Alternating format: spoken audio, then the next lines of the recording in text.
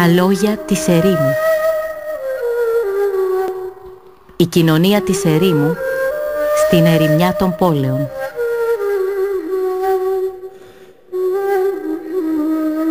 Η σοφία των ασκητών πατέρων της Εκκλησίας μας. Παραγωγή Λικούργος Μαρκούδης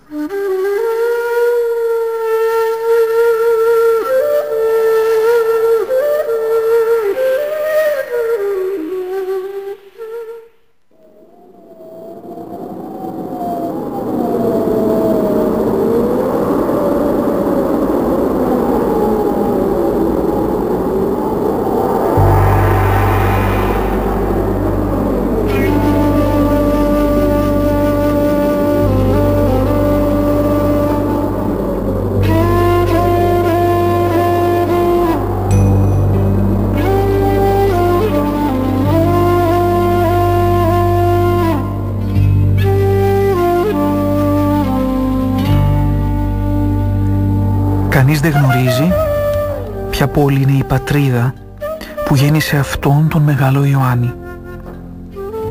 Γιατί ποιος μας άφησε γραμμένα ποια ήταν η πατρίδα, ποιοι οι γονείς και ποια η είσοδος στον βίο αυτού του θαυμάσιου άνδρα.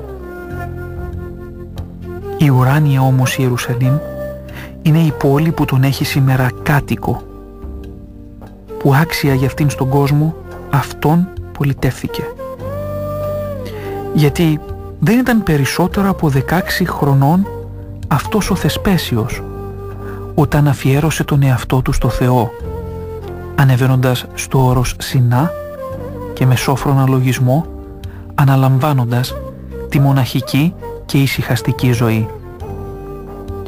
Πέρασε δε ο Μακάριος σε υποταγή και άκρα εγκράτεια 19 ολόκληρα χρόνια παιδαγωγώντας άριστα τον εαυτό του με τη μελέτη των θείων γραφών.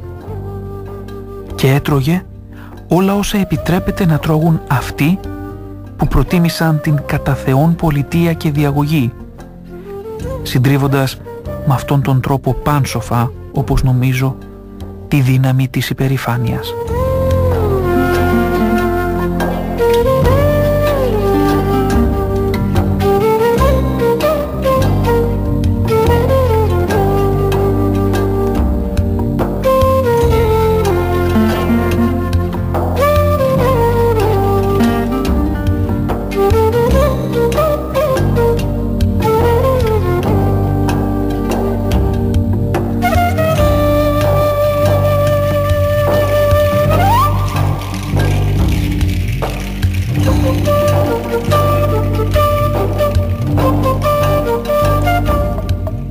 Μετά το πέρασμα των χρόνων που είπαμε, ο γενναίος παρέδωσε τον εαυτό του σε τέλεια ηρεμία και ησυχία, κατοικώντας πέντε μίλια μακρύτερα από το Κυριακό. Ονομαζόταν δε ο τόπος αυτός Θολάς. Εκεί παρέμεινε 40 χρόνια ασκούμενος στα αγαθά, πάντα πυρπολούμενος από το πυρ της Θείας Αγάπης και κάνοντας τη ζωή του μελέτη θανάτου. Δεν είχε τόπο στην ψυχή του η οργή ή ο θυμός, γιατί είχε θανατωθεί προηγουμένως με το ξύφος της υπακοής. Με απομονωμένο το σώμα και με ακόμα πιο πολύ τον λόγο, κατεπάτησε πλήρως την καινοδοξία. Ποιος θα μπορούσε να διηγηθεί ή και μόνο να φανταστεί τις πηγές των δακρύων του; Γιατί δεν υπήρχε στιγμή που να μην τρέχουν τα μάτια του θείου του του άνδρα δάκρυα, πράγμα που κανείς ποτέ δεν μπόρεσε να επιδιώξει ή και να κατορθώσει. Κοιμόταν τόσο όσο να μην καταστρέφεται η ουσία του μυαλού του από την αγρυπνία. Όλη δε η ζωή του ήταν διαρκής προσευχή και έρωτας Θεού απαράμιλος, γιατί βλέποντας τον Θεό διαρκώς τον καθρέπτη της αγνίας και της καθαρότητος δεν ήθελε ή πιο σωστά να πούμε δεν μπορούσε να χορτάσει από την αγάπη του.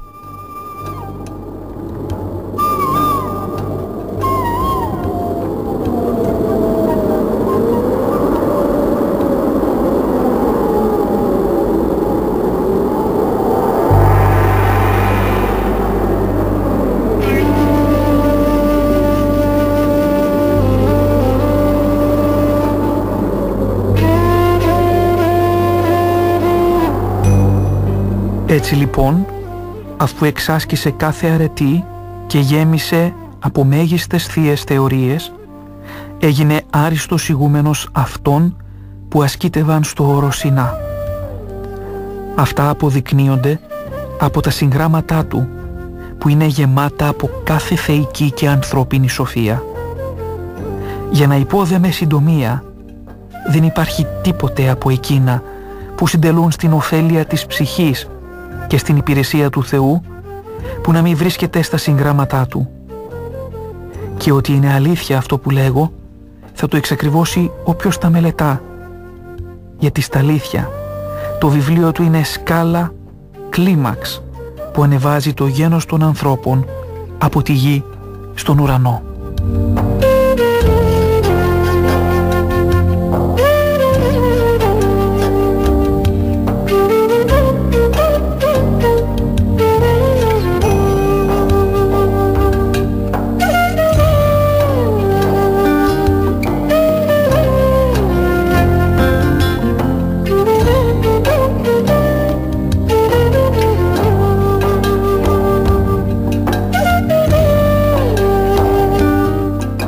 Από τους μοναχούς του όρους, έχοντας σαν παράδειγμα την πολιτεία αυτού του μεγάλου, ρύθμιζαν τη ζωή τους σύμφωνα προς αυτή σαν προς θείο αρχέτυπο. Ο πιο σπουδαίος από αυτούς ήταν ο μακάριος εκείνος Μωυσής, που ήταν ένας από τους μοναχούς που προτίμησαν τη διαμονή στο όρος. Αυτός παρακάλεσε να γίνει μαθητής του Μεγάλου και μόνος του και μέσω πολλών άλλων έτσι ώστε με καθηγητή εκείνον να μάθει την αληθινή φιλοσοφία. Μόλις λοιπόν τον πήρε μαθητή ο Μακάριος άρχισε να τον υπηρετεί.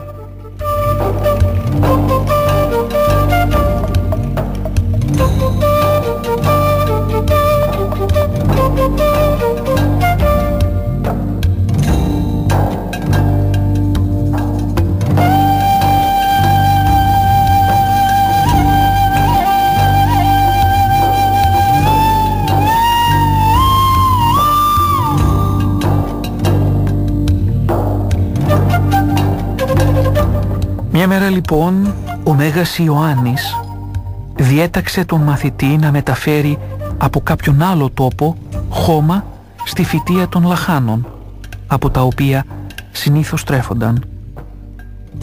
Αυτός έκανε πρόθυμα αυτό που διατάχθηκε. Όταν όμως το μεσημέρι έκαιγε ο ήλιος, ο Μωυσής από τον κόπο και τον καύσωνα απόκαμε και θέλησε λίγο να ξεκουραστεί.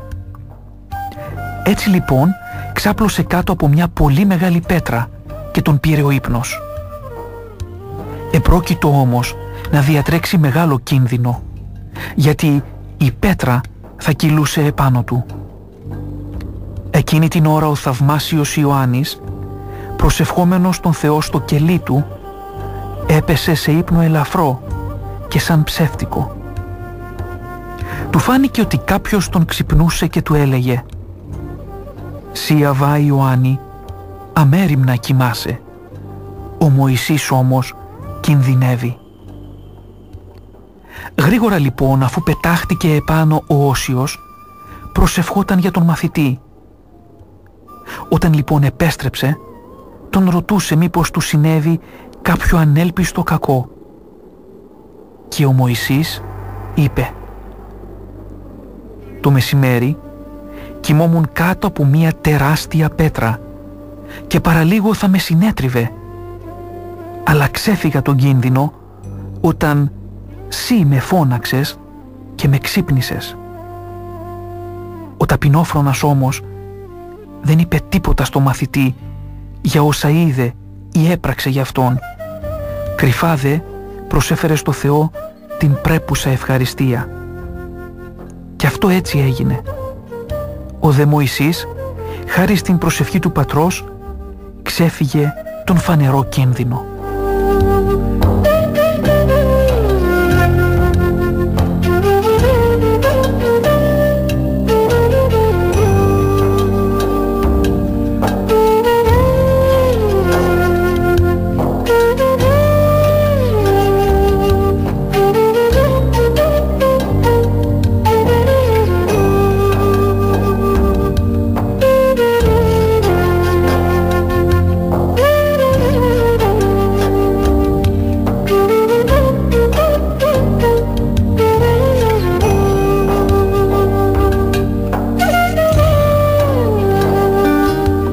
Ο θαυμάσιος Ιωάννης ήταν εμπειρότατος γιατρός των κρυφών πληγών της ψυχής, όπως θα φανεί από τα παρακάτω. Κάποιος μοναχός που λεγόταν Ισαάκιος, δυνατά πολεμούμενος από τον φιλοπόλεμο και φιλόσαρκο δαίμονα, έφτασε τρέχοντας στον μεγάλο και με δάκρυα εξομολογείτο τον πόλεμο που είχε από την σάρκα. Ο πατέρας, θαυμάζοντας την πίστη, του λέγει «Ας σταθούμε και οι δύο σε προσευχή αγαπητέ μου».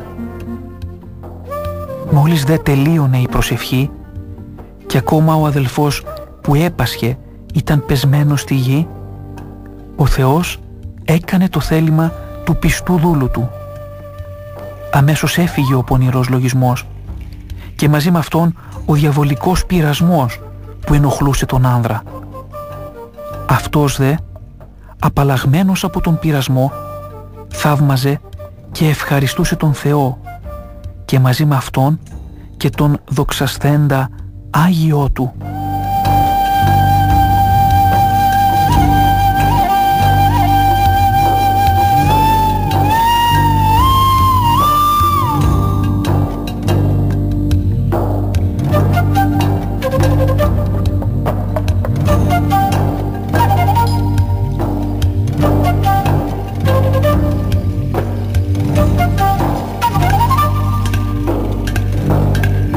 Όταν όμως μερικοί από τους αδελφούς, κεντούμενοι από το αγκάθι του φθόνου και της ζήλιας, αποκαλούσαν τον Όσιο Φλίαρο, εκείνος γινόταν της πάση τα πάντα, όπως λέγει ο Θείος Απόστολος, και μη θέλοντας να σκανδαλίζει κανέναν, πέρασε έναν ολόκληρο χρόνο σιωπώντας.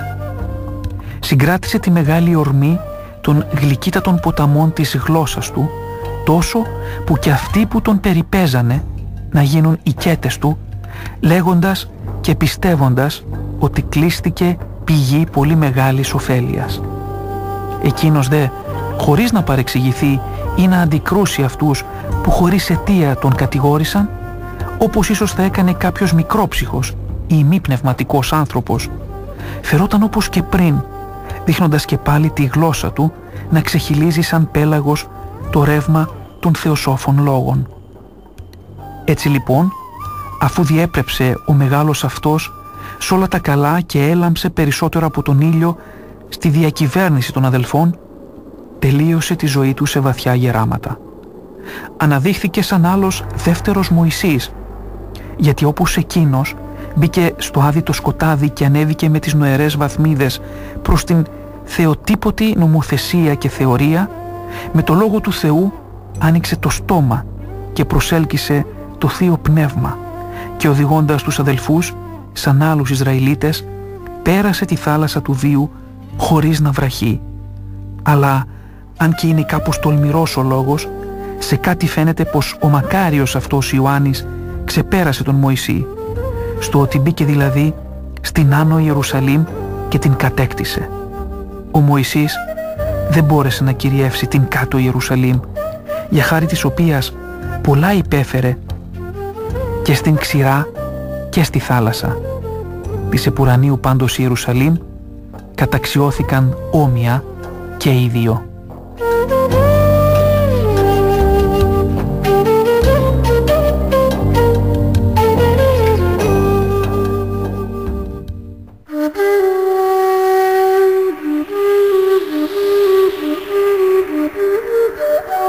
Τα λόγια της ερήμου η κοινωνία της ερήμου στην ερημιά των πόλεων.